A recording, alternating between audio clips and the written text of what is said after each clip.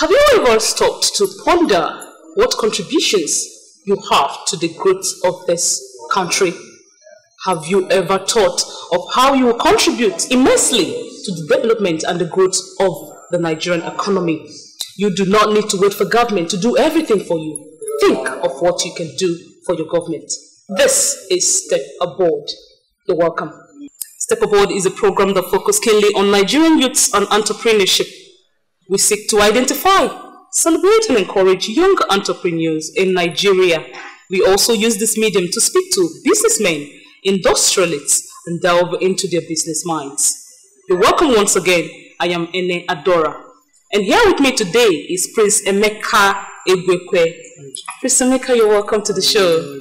How are you? I'm fine. And how is business? Can you tell us a little about yourself? Well, uh, by His grace, I'm Prince Emeka Egwuekwe, married with one wife, four children, three boys and one girl. Wow, that's very lovely. So can you tell us a little about your business? What do you do? Okay. I do furnitures.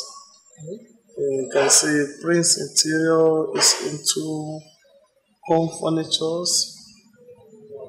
Uh, we do hospital furnitures. We do school furnitures. And also we do uh, kind of maybe church or whatever hotels furnitures too.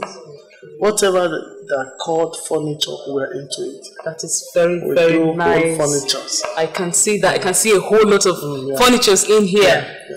Thank you very much. How did it all start? Well, um, it all started um, year 2000, February 14th. Okay. Wow! You know, anytime I tell people how I started in love, and um, I think it's a good one. It started with a very wonderful way. I think we started with 17 naira. Okay. 17 Really? naira. 17 naira. 17 naira. Wow. And I think what motivated me to start with that is the passion I have for myself to start doing something. So I now asked my friend, What do you do? A friend I met on Saturday on my arrival to Abuja. He said, do furniture? I said, I think I'm interested. After all, we grew up together and I've been in kind of in love with furniture because I grew up in a background where my father is a timber dealer. Oh, really? So I know about timber. I've done the business so much that I know so many ethics in the business. Okay. So I said, okay, if it is furniture, good, I will start. But how can I start without a tools? Mm-hmm. Nothing, no hammer. I don't have anything in my hand to start with. And the young man kind of told me he has a workshop. I said, okay, let's go. I said, I need a stool. And the guy cut the shape of the stool, very small stool, about uh, 1.8 inches, that's 18 inches by 14 inches stool. Okay. And the guy built it very perfect. So what I kind of contributed doing is sandpapering aspect of it. Yes. So I did the sandpapering and uh, it was very wonderful because I The put best. all my energy, you know, someone that doesn't have anything doing. Yes. So that very Monday I find business doing. Yes. All what came to my mind is I must make it. Oh, this business I won't stop it. Yes. So I was just sandpapering it, neat, best of my knowledge. I'm trying to imagine you suffering it seriously. You know, when I finished, the guy now told me that, oh, God, it's like you have learned this and paper before. I said, no. Uh, I said, no, because this is my business and this is the first thing first I want to do. So I must do it well. After then, the next day I was lucky. They are spraying their bed and they helped me with the polish to spread mine too. Okay. So the moment they spread it, I took my stool in my heart and I made a prayer at that point. I said, Lord, help me. Let customer come and buy this. Oh. And I went and put it in the road where others are putting their Samples, yeah. and so on. On that fateful day, after two hours, somebody drove and parked and drive reversed back. Okay. Park at exactly the stool place. Mm-hmm. I thought that maybe you need bed and so on that they display. They say, no, who owns this stool? Mm-hmm. I rushed from the rock where we are sitting yeah. under the tree okay. down to meet the man and say, I'm the owner. He said, okay, no, no, no, no, the way you are rushing, I, I'm not coming to buy stool. Okay. I saw the finishing of the stool and I, I think the way you did this stool, you will give me the kind of furniture I wanted. Mm-hmm. I have a job of school furniture and I need a perfect finishing because they keep telling us that we must go to so so so so company and I believe that we have furniture men here. If you can give me a sample of neat job, you have a job. I say, where, sir? He said, primary education board area two.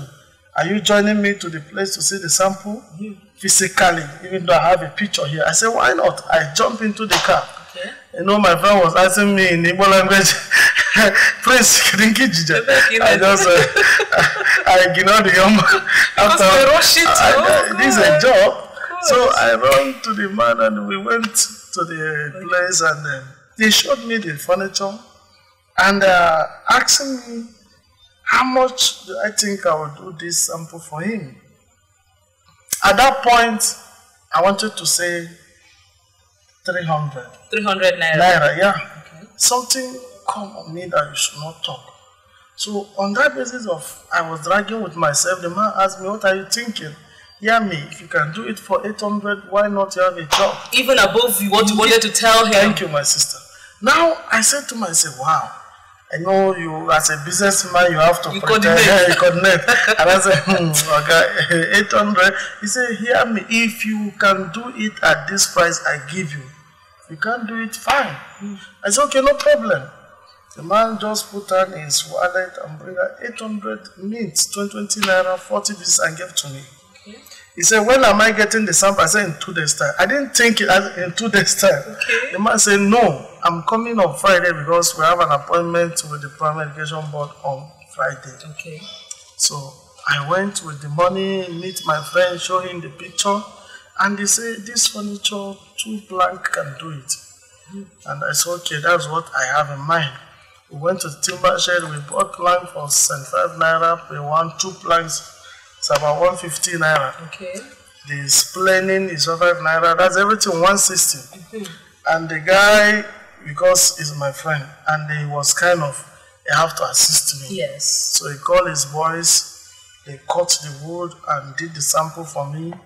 He asked me to just buy a one pound weight of nail. Okay. Half pound weight of two inches then.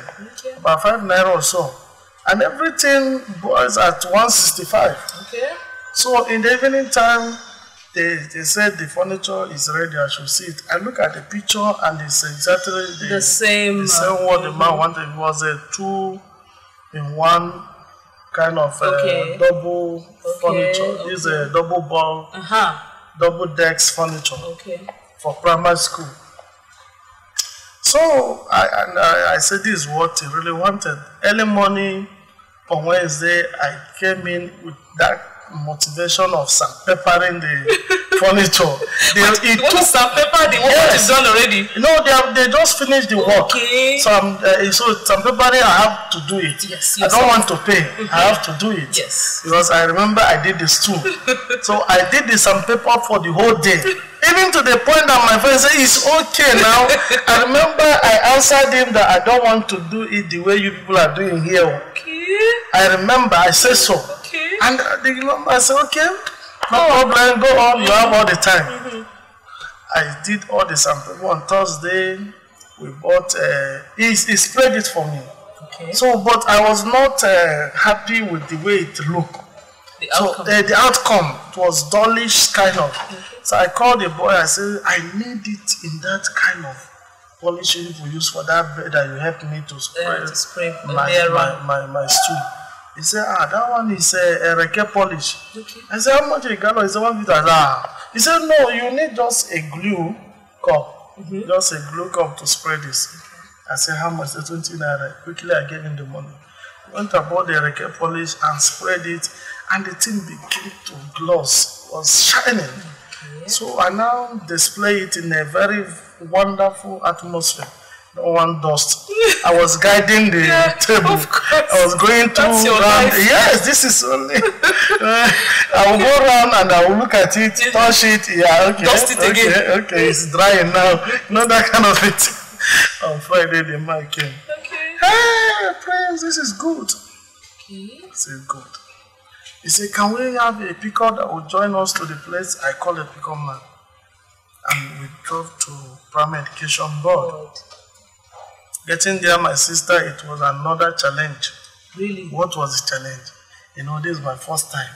So I just saw somebody drove and they, they, they, they parked and the man came down from this uh, 544 best line. Okay. Uh, is it best line or so? 544 black. And with government number. The man just came down with that white about everybody was uh, Shivering. yeah, and the man was walking very kind of. He was walking fast and uh, just confidently. confident. And I said, this must be the owner, the owner of this place. At that point, I gave chance. The man walked straight to the furniture that I bought.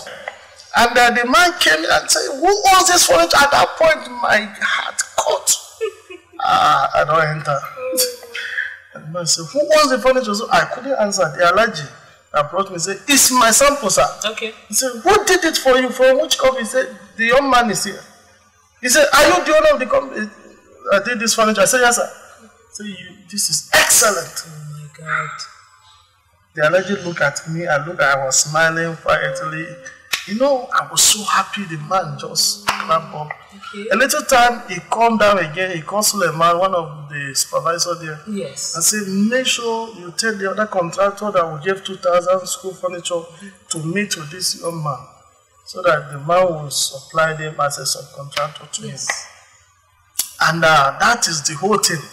After we're just talking, the man we're talking about came in. The, The person they man. awarded the contract the, already. yeah, the man from Borno. Yes. And uh, Suleiman met me and said, God just tell me that you should do Hand over to this this person. man. This man is one that do the job and so on. And the man said, No, I'm just coming from Akko Furniture in uh, in uh, Zuba that uh, we have already agreed. Say, Tom, I think you advise yourself. This is the man he said. And the, the other of his friends say, What is your concern? Uh-huh. I agree with this man. Your own is not to get your money after the Chicken, huh? job. He said, Yes. He said, Okay, how much are you doing it? The man asked me, I said, It's 800. He said, Ah, Tom, it's almost the same with what the man told us there. I don't, they didn't tell me how much the man told. Said, Almost the same. Same. And they said, Okay, you have the job. Mine is 2,000.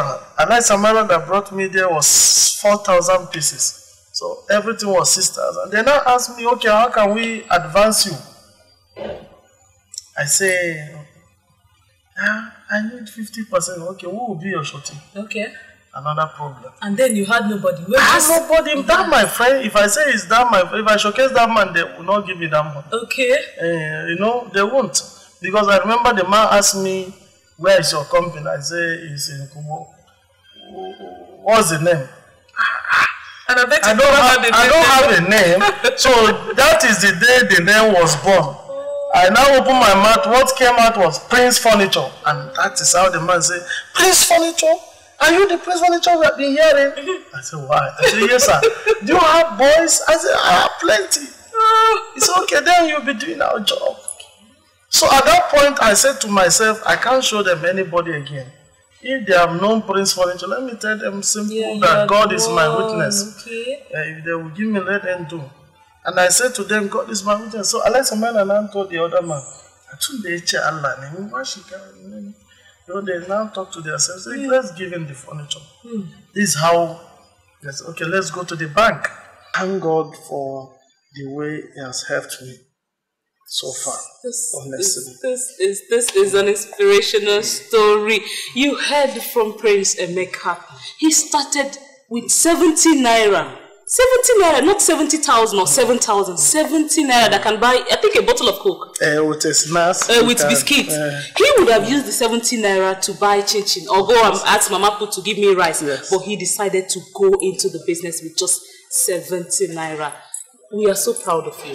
I mean, who can believe that this empire or this house of furnitures came to be with 70 naira? Step Abode is very, very proud of you. And I'm sure the viewers have learned a lot from you. Thank you so very Thank much. you. Did you grow up in an entrepreneurial environment that made you to have a business idea or an entrepreneurial idea?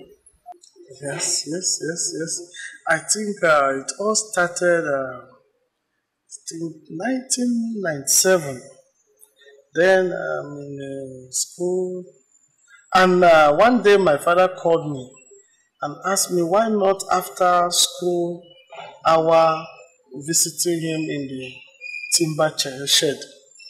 And I said to him, uh, you know, after school hour, we go to football, we do this. He said, he said, he said, am I the one to tell him what to do or is one to tell me what to do? I said, okay, no problem. If you want me to be visiting you after school hour, I will.